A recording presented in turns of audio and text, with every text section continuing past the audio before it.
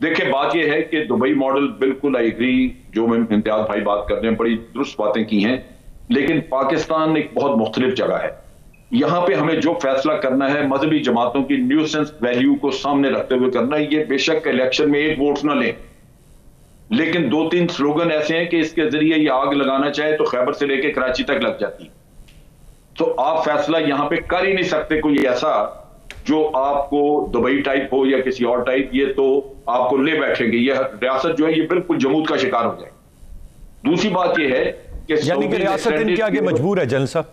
इन नासिर बड़ी मजबूर है। यहाँ तो हालात ही बड़े मुख्तलिफ़ हैं भाई।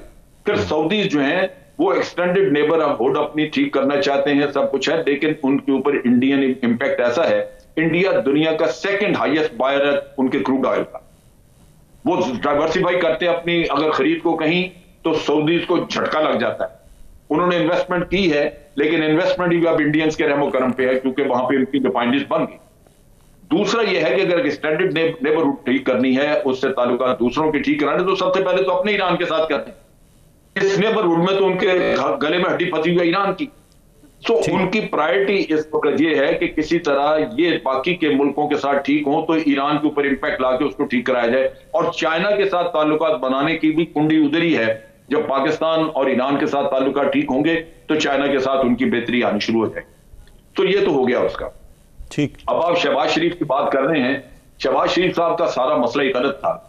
जिस उजरत में जिस तरह एक इंतहाई मैं समझता हूँ कि अफसोस होता है शर्म आती है जिस तरह यह फैसला किया गया। अब जब फैसला करते हैं हुकूमत की किसी पॉलिसी के खिलाफ तो क्या हुकूमत को हक नहीं है कि वो उसके खिलाफ अपील कर सके? अगर वो भी राइट नहीं देते, आप हुकूमत को सुनते ही नहीं है। तारीख आप देते हैं, कहते हैं, जी अच्छा जुलाई की फला तारीख को केस सुना जाएगा, अभी आप चले जाएँ। फैसला तो आपने पहले कर दिया। तो ये वो चीज़ें हैं जिसकी वजह से अदालतें भी खामोश हैं और ये नून लीग दोबारा अदालत में गई नहीं है। क्योंकि ये तो सारी, सारा केस ही गलत चला था। आप कोई भी केस कर लें, फैसला सुनाएँ, अपील का हक दूसरी साइड को है। आप कैसे उसको वहीं बैठे बैठे जाते और फिर इतने फ्लॉज हैं।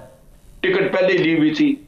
तारीख की के फला तारीख को सुबह जाना है। केस बाद में दायर हो रहा है। फैसला उसका अगले दिन हो रहा है। कैसे पता था शबाज शरीफ को कि यह फैसला उसी के हक में होगा?